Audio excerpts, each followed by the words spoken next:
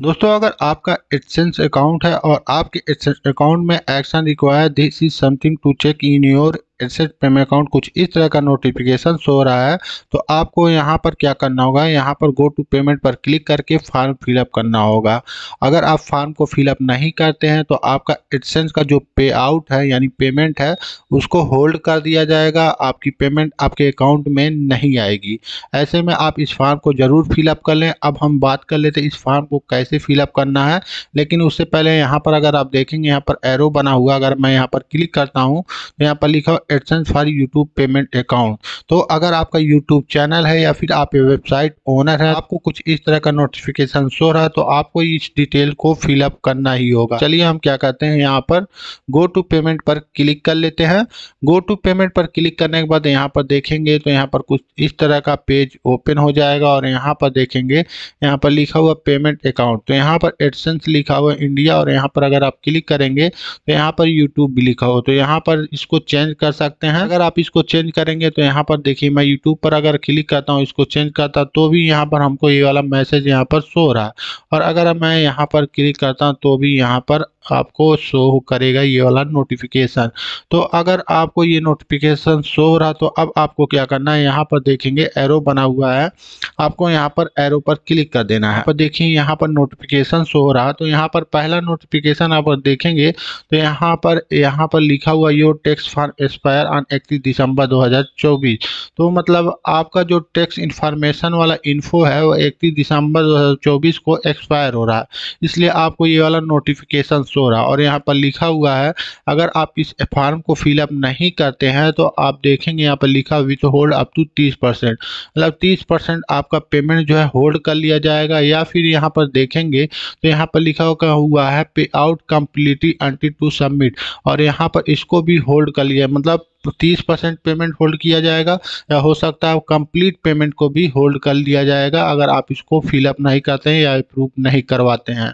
तो यहाँ पर ये जानकारी लिखी हुई है, यहाँ पर एक और नोटिफिकेशन सो रहा है, सिंगापुर टैक्स इन्फो तो आपको इसको भी फिलअप करना होता तो देखिए, यहाँ पर मैंने पहले से फिलअप कर दिया और यहाँ पर लिख कर आ रहा है your tax info for Singapore has been accepted तो आपको सबसे पहले क्या करना इस फॉर्म को फिलअप कर लेना है। आप इस फॉर्म को कैसे फिलअप करेंगे, इसके लिए हमने पहले से एक वीडियो बनाया हुआ है, आप उस वीडियो को देख सकते हैं। वीडियो के नीचे डिस्क्रिप्शन में हमने सिंगापुर टैक्स इन्फो वाला जो वीडियो हमने बनाया हुआ है, उसका लिंक हमने दिया हुआ आप वहाँ पर क्लिक करके सिंगापुर टैक्स इन्फो वाली इन्फॉर्मेशन देख सकते हैं। और इसको फिलअप करने के बाद हम ये वाला इन्फॉर्मेशन अब चलिए फिलअप करेंगे। तो इसके लिए हम क्या करेंगे, यहाँ पर सबमिट न्यू फॉर्म पर क्लिक करेंगे, जैसे ही क्लिक करेंगे तो आप देखेंगे यहाँ पर प्रोसेज और हो रहा है। और यहाँ पर देखेंगे तो यहाँ पर सिंगापुर टैक्स इन्फो वाला जो हमारा यहाँ पर एक्सेप्टेड हो चुका है उसके बाद आप स्क्रॉल करके नीचे आएँगे और यहाँ पर देखेंगे यूनाइटेड स्टेट लिखा हुआ तो अब हमको क्या करना है? इस यूनाइटेड स्टेट वाले फार्म को फिलअप करना है। तो आप देखेंगे यूनाइटेड स्टेट में यहाँ पर लिखा हुआ फार्म डब्ल्यू एट बेन और यहाँ पर इसका स्टेटस अगर आप देखेंगे अप्रूव है। लेकिन ये फार्म कब सबमिट हुआ था? तो आप देखेंगे ये फार्म 10 मार्च 2021 को सबमिट हुआ था। और ये एक्सपायर कब हो रहा तो इकतीस दिसंबर 2024 को एक्सपायर हो रहा तो ऐसे में अब हमको क्या करना है? यहाँ पर इसको अपडेट करना अपडेट करने के लिए यहाँ पर देखिए सबमिट न्यू फार्म लिखा हुआ आप यहाँ पर क्लिक करेंगे। करेंगे तो यहाँ पर ये वाला जो डिटेल आपको सबमिटेड दिख रहा है तो ये डेट चेंज हो जाएगा और एक्सपायरी डेट भी चेंज हो जाएगा। जब आप सबमिट न्यू फॉर्म पर क्लिक करेंगे और यहाँ पर देखेंगे तो यहाँ पर इकतीस दिसंबर 2024 लिखा हुआ, क्यों लिखा हुआ है? तो यहाँ पर तीन साल का इसकी वैलिडिटी होता है, आप जो भी फॉर्म यहाँ पर फिलअप करेंगे। तो अगर आप फिर से फिलअप कर रहे हैं तो ये तीन साल बाद फिर आपको दोबारा फिलअप करना पड़ेगा। तो ऐसे में आप देखेंगे, यहाँ पर नोटिफिकेशन भी सेम चीज़ लिखी हुई है, इकतीस बारह दो और यहाँ पर एक्सपायरी डेट यही लिखी हुई है। मतलब आपको इकतीस बारह दो से पहले इस फॉर्म को फिलअप कर लेना है और अगर आप इकतीस बारह दो से पहले फिलअप नहीं करते हैं तो आपका गूगल एडसेंस का जो पेमेंट है उसको होल्ड किया जा सकता है।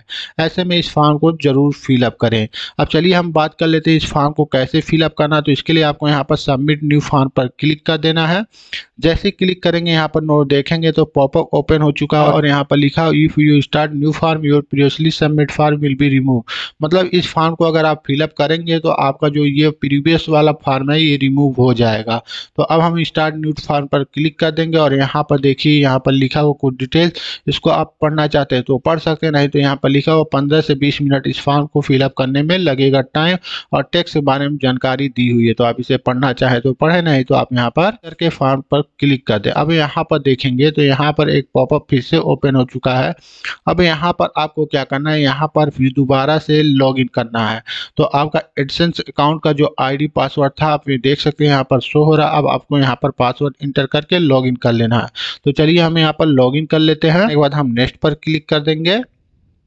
तो देखिए प्रोसेस कंप्लीट होने के बाद कुछ इस तरह का आपके सामने इंटरफेस शो होगा। अगर आप यहाँ पर देखेंगे, यहाँ पर लिखा हुआ टाइप ऑफ़ अकाउंट तो अब आपको क्या करना है? अगर आपका बिज़नेस अकाउंट है तो आप नॉन इंडिविजुअल या इंटिटी को सिलेक्ट करेंगे। और अगर आपका बिज़नेस अकाउंट नहीं है तो आप इंडिविजुअल को सिलेक्ट करेंगे। तो यहाँ पर मेरा बिज़नेस अकाउंट नहीं है तो मैं यहाँ पर इंडिविजुअल को सिलेक्ट कर दिया हूँ। इंडिविजुअल को सिलेक्ट करने के बाद अब आपको यहाँ पर नेक्स्ट पर क्लिक कर देना है। और नेक्स्ट पर क्लिक करने के बाद यहाँ पर देखेंगे, यहाँ पर लिखा हुआ आर यू ए सिटीजन या रेजिडेंट रेजिडेंट आप यूनाइटेड स्टेट आप यूनाइटेड स्टेट के सिटीजन है या रेजिडेंट है तो आपको यस करना, नहीं तो आप नो करेंगे। तो हम इंडियंस हैं तो हम यहाँ पर नो पर क्लिक करेंगे और उसके बाद हम नेक्स्ट पर क्लिक कर देंगे। तो स्क्रॉल करके आप नीचे आ जाओ और यहाँ पर देखेंगे, यहाँ पर लिखा select W eight tax form type तो यहाँ पर आप देखेंगे, यहाँ पर डब्ल्यू एट बेन जो ऑप्शन है, इसको आपको सिलेक्ट कर लेना है। यहाँ पर अगर आप देखेंगे डब्ल्यू एट बेन जो है, यहाँ पर क्यों यूज़ करेंगे तो यहाँ पर देखेंगे नॉन यूएस इंडिविजुअल के लिए। है तो इसलिए हम W W eight BEN use करेंगे और ये जो है यूएस वालों के लिए है और बिज़नेस अकाउंट के लिए है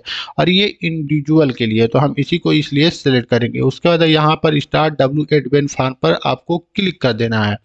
कंप्लीट होने के बाद आपके सामने W eight BEN tax form open हो जाएगा और यहाँ पर देखेंगे, यहाँ पर देखेंगे टेक्स आइडेंटिटी में नेम में आपको इंडिविजुअल नेम जैसा शो हो रहा। अगर आपने पहले से डब्ल्यू एट फॉर्म फिलअप किया था तो सेम नेम आपको यहाँ पर रहने देना इसमें कोई भी चेंज आपको नहीं करना है। उसके बाद यहाँ पर डी यानी डूइंग बिज़नेस एज वाला जो ऑप्शन है, ये ऑप्शनल है तो आप इसको छोड़ सकते हैं, इसको आप फिलअप ना करें तो भी कोई बात नहीं। अब आप यहाँ पर आ जाएँगे और यहाँ पर क्लिक करेंगे और यहाँ पर आपको अपनी कंट्री को सिलेक्ट कर लेना तो हम इंडिया यहाँ पर सिलेक्ट कर लेंगे। अगर आप देखेंगे यहाँ पर टैक्स पेयर आइडेंटिफिकेशन नंबर दिया तो आपको इसको भी फिलअप करना होगा। यहाँ पर दो ऑप्शन है फॉरिन टी और यूएस टी ऐसे में आपको क्या करना है, यहाँ पर फॉरिन टी वाला जो ऑप्शन है, इसको फिलअप कर देना। और यहाँ पर देखेंगे देखेंगे यहाँ पर ऑप्शनल लिखा हुआ तो ऑप्शनल लिखा हुआ, फिर भी आपको इसको फिलअप कर देना। नहीं फिलअप करेंगे तो आपको एरर शो होगा। अब इस फॉरिन टी में आपको क्या फिलअप करना है तो आपको बता दे, यहाँ पर आपको पेन कार्ड नंबर इंटर करना। अगर आपके पास पेन कार्ड नंबर नहीं है तो आप पेन कार्ड नंबर बनवा लें, क्योंकि अगर आप इस फॉर्म को फिलअप करेंगे तो आपको इसकी ज़रूरत पड़ने वाली है। अब यहाँ पर फॉरिन टी में हम पेन कार्ड नंबर इंटर कर देंगे और इंटर करने के बाद यहाँ पर नेक्स्ट पर क्लिक कर देंगे। पर क्लिक करने के बाद यहाँ पर परमानेंट रेजिडेंट एड्रेस आपको फिलअप करना है तो यहाँ पर काउंटी पहले से है और यहाँ पर आपको स्टेट एड्रेस फिलअप करना है। स्टेट एड्रेस में आप क्या फिलअप करेंगे? तो पहले से आपने जो एडसेंस अकाउंट जब बनाते समय जो एड्रेस आपने दिया हुआ था सेम एड्रेस आपको यहाँ पर फिलअप कर देना है। तो चल आपको स्क्रॉल करके नीचे आ जाना और यहाँ पर देखेंगे तो यहाँ पर एक ऑप्शन दिया हो postal address is same as permanent resident address मतलब ऊपर जो आपने एड्रेस फिलअप किया है अगर आपका पोस्टल एड्रेस और ऊपर वाला एड्रेस दोनों सेम है तो अब आपको क्या करना है, यहाँ पर टिक मार्क कर देना और अगर आपका दोनों एड्रेस अलग है तो अब आपको क्या करना है, यहाँ पर दोबारा से एड्रेस को फिलअप करना है। तो मेरा दोनों कंडीशन में एड्रेस जो है, यहाँ पर सेम है तो हम क्या करेंगे, यहाँ पर टिक मार्क कर देंगे। और टिक मार्क करने के बाद आपको यहाँ पर नेक्स्ट पर क्लिक कर देना है। नेक्स्ट पर क्लिक करने के बाद यहाँ पर दोबारा से प्रोसेस हो रहा है तो हम इसको कंप्लीट होने देते हैं। यहाँ पर तीसरा जो ऑप्शन आ चुका है, टेक्स्ट का, अब यहाँ पर आपको क्या करना है यहाँ पर यस पर आपको क्लिक कर देना और यस पर क्लिक करने के बाद आप यहाँ पर टिक मार्क कर देंगे। और यहाँ पर काउंट्री में आपको क्या करना क्लिक करना और आपको अपना काउंट्री सेलेक्ट कर लेना। तो हम यहाँ पर अपना काउंट्री सेलेक्ट कर लेते हैं। काउंट्री सेलेक्ट करने के बाद आपको स्क्रॉल करके नीचे आ जाना और यहाँ पर स्पेशल रेट्स एंड कंडीशन में आपको यहाँ पर टिक मार्क करना है। और आर्टिकल एंड पैराग्राफ पर क्लिक करना article twelve and paragraph two A second को सिलेक्ट कर लेना है और विथ होल्डिंग रेट को यहाँ पर आपको पंद्रह परसेंट वाला जो ऑप्शन है इसको सिलेक्ट कर लेना है। उसके बाद यहाँ पर भी आपको टिक मार्क कर देना, उसके बाद आ जाना स्क्रॉल करके नीचे और यहाँ पर भी टिक मार्क कर देना और यहाँ पर क्लिक कर देना और article seven and paragraph one को सिलेक्ट कर लेना है। और विथ होल्डिंग रेट को आपको क्या करना है, यहाँ पर zero percent reduce activity rate जो है इसको सेलेक्ट कर लेना है। उसके बाद यहाँ पर भी आपको टिक मार्क कर देना, उसके बाद यहाँ पर motion picture and TV royalty पर भी आपको क्लिक करना है और यहाँ पर क्लिक करने के बाद आर्टिकल एंड पैराग्राफ पर क्लिक करना है और आर्टिकल ट्वेल्व वाले को सिलेक्ट करना है और विथ होल्डिंग रेट को आपको यहाँ पर पंद्रह परसेंट रिड्यूस रेट को सिलेक्ट कर लेना है।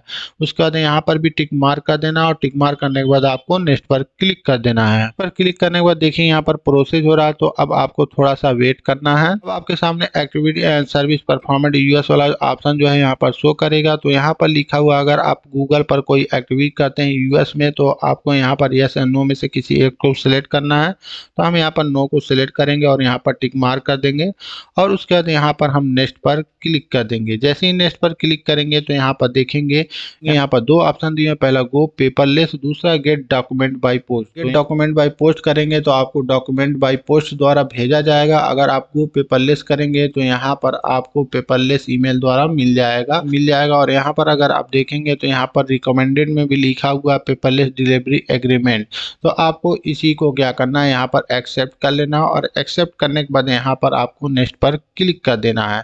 नेक्स्ट पर क्लिक करने के बाद देखिए ये फार्म यहाँ पर आपको शो हो रहा है तो आपको इसको कुछ भी नहीं करना, बस यहाँ पर आपको कंफर्म कर देना है और उसके बाद यहाँ पर नेक्स्ट पर क्लिक कर देना है। आपके सामने सर्टिफाई एंड साइन वाला ऑप्शन जो आएगा तो यहाँ पर आपको क्या करना है? यहाँ पर बस टिक मार्क कर देना और टिक मार्क करके स्क्रॉल करके नीचे आ जाना और यहाँ पर देखिए अनचेक स्टेटस एफिडेविट में आपको क्या करना है? यहाँ पर टिक मार्क कर देना है। और यहाँ पर जैसे ईयर पहले से जो भी आपको शो करेगा, आपको सेम ऐसे ही रखना है, इसमें कोई भी चेंज नहीं करना है।